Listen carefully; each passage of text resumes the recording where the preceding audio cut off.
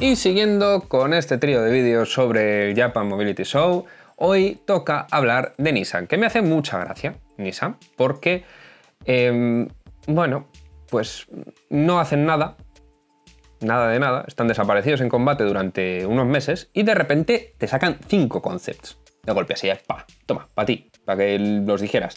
Y la cosa es que ninguno tiene el mismo lenguaje de diseño. O sea, están tirando un poco un bloque de pasta a la pared a ver qué espagueti se pega. Eh, mm, no sé, me parece un poco extraño el hecho de juntar tantas cosas aquí, pero bueno, supongo que es un poco para tantear al público y de esta forma ver a ver en qué dirección tiran. Así que vamos a verlo. De primeras, aquí tenemos los cinco y como podéis observar son cada uno de su madre. Son tres subs, el posible sustituto del GTR, que voy a hablar al final de él, que supongo que es de lo que todos queréis que hable de este, y eh, una, una furgoneta, o monovolumen, o lo que sea esto. Así que, bueno, pues nada, vamos a ello.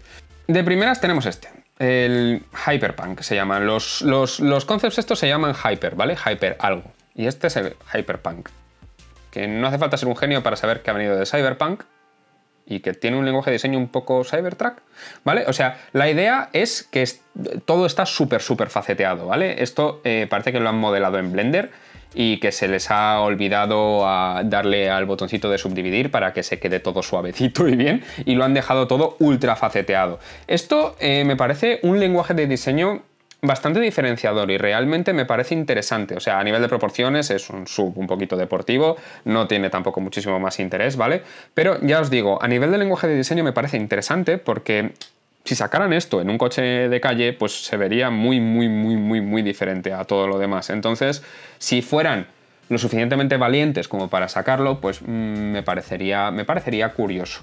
Eh, luego, eh, estos proyectos de Nissan tienen cosillas por ahí que se ven un poquito no del todo terminadas, ¿vale? Aquí tenemos un pliegue de que no se ve, no tenemos nada aquí, no sé, es un poco extraño, ¿sabéis? O sea, digamos que la calidad de estos concepts no es todo lo que podría ser y los renders muchas veces dejan un poquito que desear. Este en concreto no está, no está terrible, pero bueno. Eh, me parece curioso esta forma de actuar de Nissan, pero bueno, todos estos concepts, aunque de lenguaje de diseño no comparten casi nada, eh, tenemos un lenguaje, una cosita, una cosita de diseño, que sí que comparten, que es el hecho de morro corto. ¿Vale?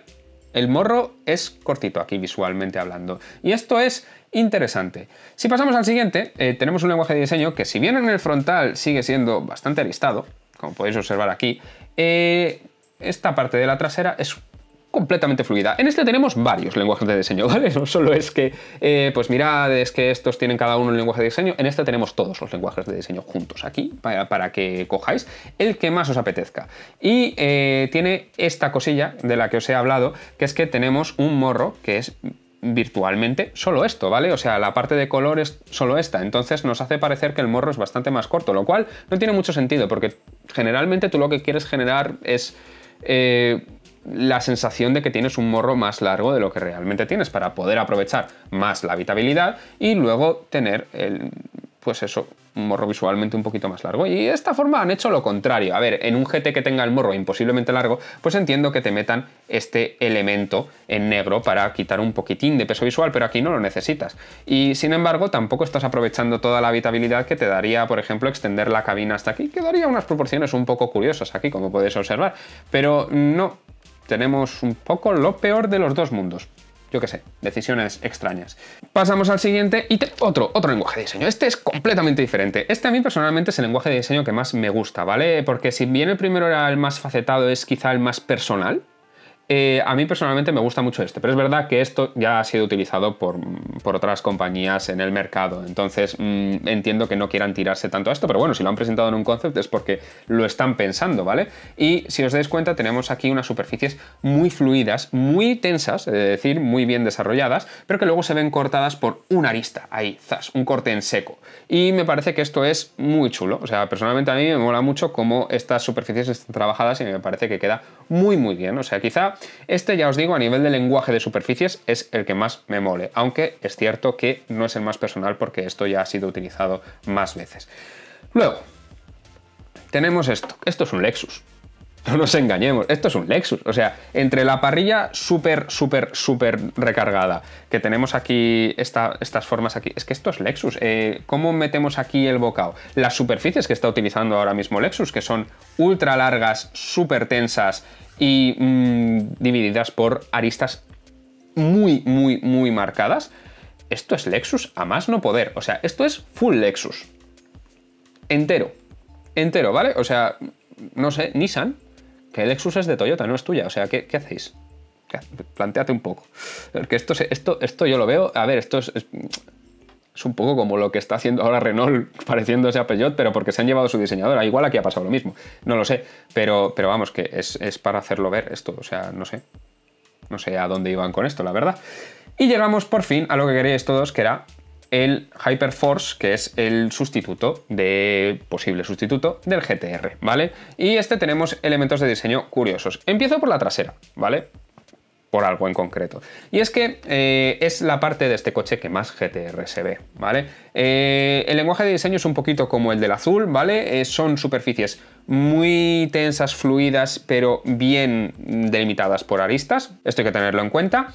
Y tenemos elementos de diseño que sí que hacen verse GTR. he de decir que los elementos, estos elementos de diseño son súper característicos. Son estos cuatro faritos redondos y ahora para parecerse a esta última generación del GTR, este visor, esta forma del corte de la ventanilla lateral. También las proporciones, es un coche que se ve pesado visualmente y esto sí que es clásico de los GTRs. Entonces, pues tenemos ahí los elementos de diseño que conforman un GTR. Luego, lenguaje de superficies muy fluido, ya os digo que llega hasta aristas. Es fluido, aquí si os dais cuenta, esto además es una superficie enorme y tenemos aquí transiciones muy suaves, pero que están muy bien delimitadas por aristas. Me parece muy chulo el efecto que le han dado a los pilotos traseros, la verdad, me parece que eso está muy bien. Y cosas curiosas como por ejemplo este endplate del alerón trasero que, bueno, pues viene cortado por aquí y lo deja separado del coche, ¿vale? No es algo tan F40, tan Ferrari F40 vamos a decir, pero sí que le da un toque un poquito distinto. La verdad es que me mola.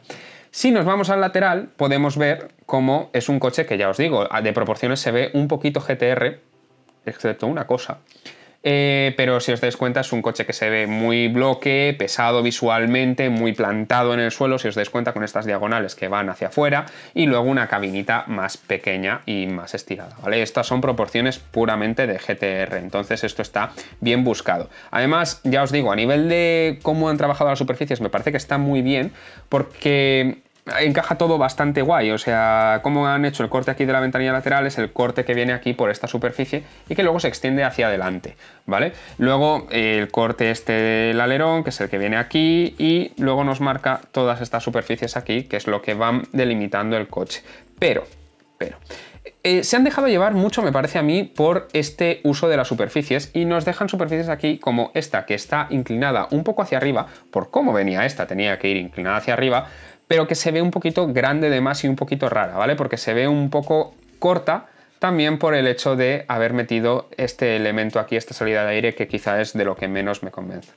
Pero eh, si lo hubieran dejado más estirada hacia adelante, pues quizás se habría visto un poco mejor. El problema de esta superficie, de estirarla tanto hasta adelante, es que nos ha dejado este elemento aquí, esta boca, que es muchísimo más larga. Pero, ¿ese es el problema? No, el problema es que los GTR normalmente tienen el morro largo. Los GTR de proporciones son coches que se ven con un morro muy mazacote y muy largo y muy horizontal. Entonces, por meterle este lenguaje de diseño que os digo, de que todos los tienen iguales, de este morrito tan corto aquí, se ve desproporcionado para ser un GTR, se ve extraño, entonces esto habría sido mucho más chulo si hubiera tenido un morro más clásico de GTR, ahí me he pasado bastante, ¿eh? pero eh, aquí se ve raro, se ve muy raro y parece muy, eh, no sé, parece un, un rape o, una quitanieves, una cosa así. Esta boca aquí tan grande y tan caída hacia abajo, pero está así, o sea, está con la mandíbula salida, se ha metido algo igual el coche, o, los diseñadores que lo han hecho.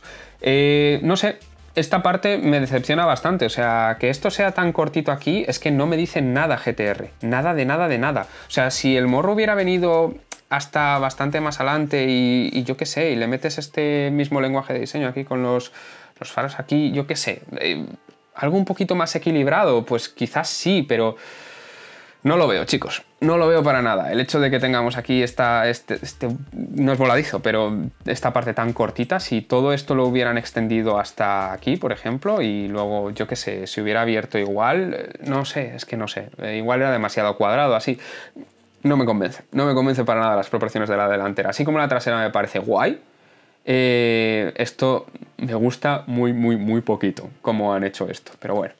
Eh, si nos vamos por último al interior, eh, pues pantallitas y lucecitas por todas partes. Ya os digo, eh, me gusta mucho lo que están haciendo varios fabricantes ahora de meter pantallas aquí justo en el lateral del volante, que esto es porque son volantes muy pequeñitos, sí, pero me gusta, me gusta mucho, me gusta mucho porque es información que está muy cerca de la vista y no tienes que apartar tanto la mirada de, la carretera. Entonces esto siempre es algo a celebrar. Obviamente no tenemos ningún tipo, ni medio tipo de, control físico aquí, pero bueno, era, era, de esperar. Esto, los GTR siempre han sido muy de consolita, muy tecnológicos, así que es un poco lo que hay. Y nada, estos son los concepts de Nissan, los cinco, eh, cada uno de su madre, con lenguajes de diseño completamente distintos, siendo uno de ellos el posible sustituto del GTR y que espero que trabajen bastante hasta que saquen el GTR. Normalmente Nissan sí que trabaja bastante desde los concepts hasta los coches de calle, pero este GTR necesita trabajo de intentar repensar a ver las proporciones. Porque a nivel de lenguaje de diseño tiene cosas chulas, las superficies encajan muy bien con los elementos de diseño en general, las líneas, todo está mm, bien pensado, pero esta delantera me parece indigna de un GTR completamente. O sea, me parece que no, no, no tiene cabida, no tiene cabida aquí sinceramente. La trasera se ve bastante guay, sí, eso sí, eso sí. Y el coche se ve pesadete, pero bueno, es un poco lenguaje de diseño GTR, ya decimos. Así que nada, hasta aquí el vídeo de hoy, espero veros por aquí y si no os habéis suscrito ya estáis tardando.